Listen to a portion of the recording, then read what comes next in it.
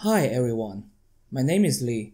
In today's video, I'm going to talk about how I can deploy a WordPress site on my VPS in 10 minutes. WordPress is the most commonly used CMS on the internet. People use it for commercial sites, for personal blogs, for everything they want to. The traditional way of building a WordPress site can be intimidating sometimes uh, when you need to configure Apache server, MySQL, and PHP on a Linux server and connecting them together. With Docker and Traefik, everything is very straightforward um, and Traefik will take care of the SSL certificate for you as well. So without further ado, let's get started. Uh, first of all, I will open my blog here, which has some of the configuration files is here. And then I will go to my VPS.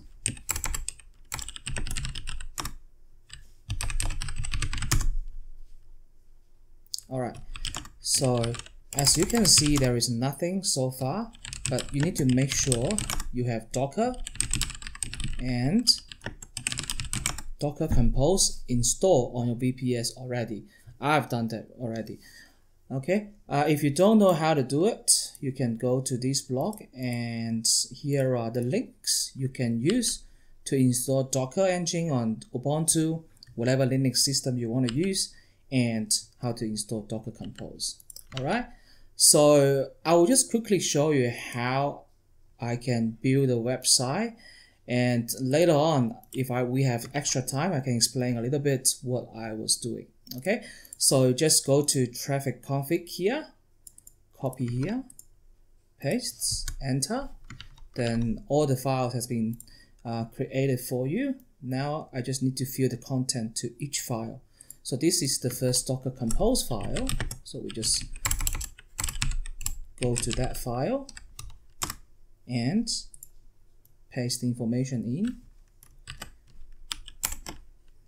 Now, what I'm doing now is to replace your domain to the real domain, which is tomato.monster.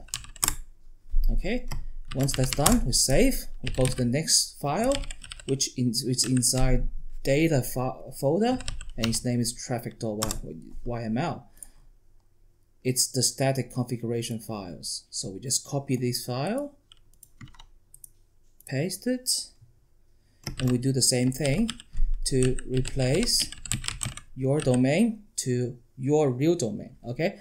Uh, which is tomato.monster. Yeah, now save it. All right, here is the last file we need to copy, which is the dynamic configurations files for Traefik.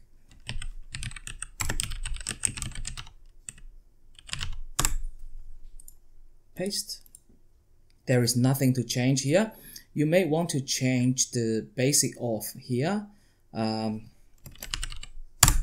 all right. Now, let's start it. Oh, okay, I need to create a network. Proxy, okay, and we can run. So, this is how I start the Traefik and I also assign this domain traefik.tomato.monster to my Traefik dashboard. You will see the dashboard in a few minutes. Okay. Okay. Tomato.monster. Alright, this is very common because it takes time for Traefik to pull the SSL certificate from Let's Encrypt. So let's just wait for it. And now I'm going to go to this blog post for WordPress. Let me just refresh a little bit. Okay, it's done. The, the, the username is admin and the password is qwer1234. If you're copying my configuration files, you can use that username and password. Please change it when you use it on your production server, okay? So this is the um, Traefik 2 dashboard. Looks pretty neat, right? So now I'm going to build this um, WordPress site. So what I'm going to do, I'm going to create a folder called WordPress. Okay, and then we go to that folder, create a file called docker compose.yml. All right, we just do the same thing by pasting. So copy here, click this button to copy, paste it here, and then I'm going to replace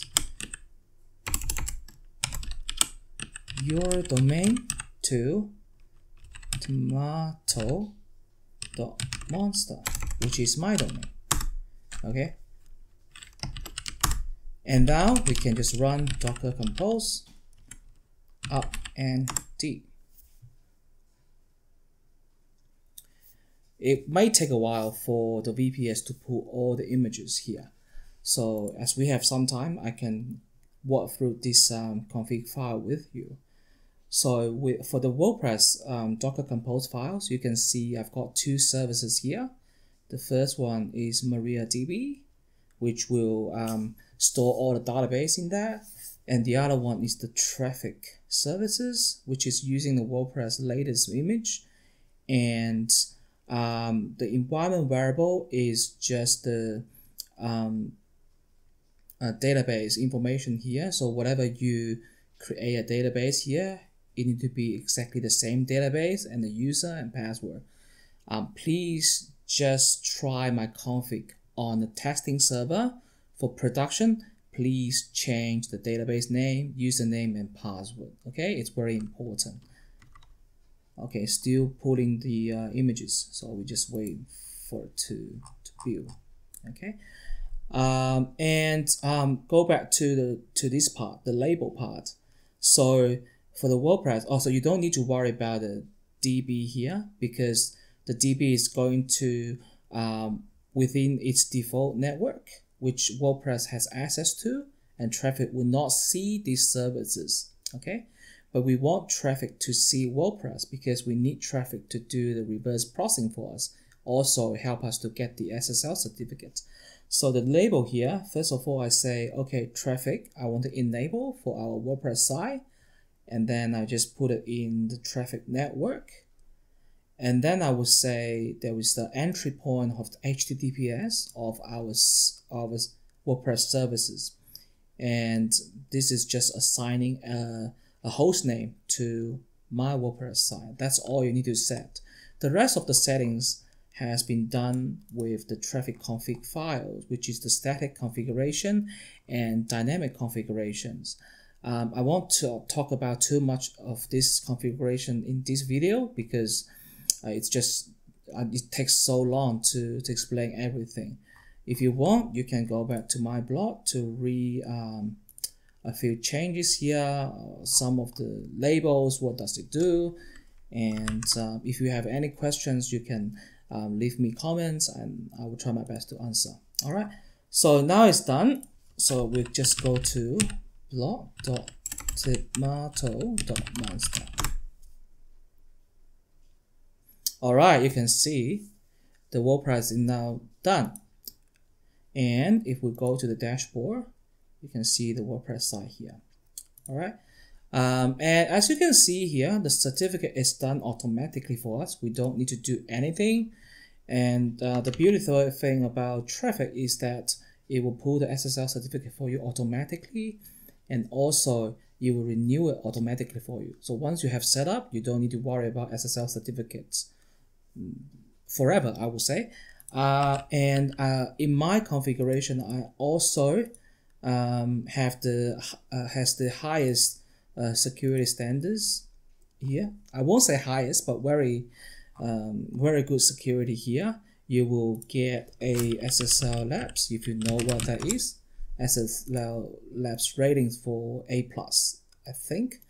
Um, so that's so easy. I mean, the video is still nine minutes and 40 cents, and we have already done our blog. Um, furthermore, we just need to continue and give a site ABCD, let's say username admin, copy these um, passwords, put in some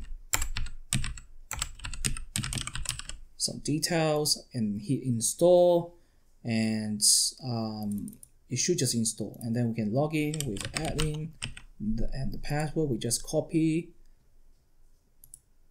yeah that's it. Um you can visit your site now. Um let's visit my site. Yep that's your wordpress blog. And then you can play with the themes with the plugins.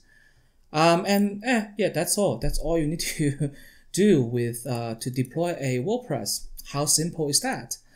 So um, if you want to deploy a um, wordpress I highly suggest you to use Docker and Traefik. This is a great combination.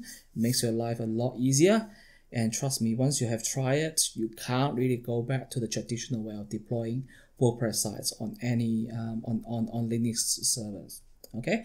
Um, if you have any questions, uh, please leave a uh, comment below. And I understand that um, deploying of, of WordPress seems really easy in my video it is quite easy as long as you understand all the labels and configurations, um, which would take much more time to, to read and understand, of course.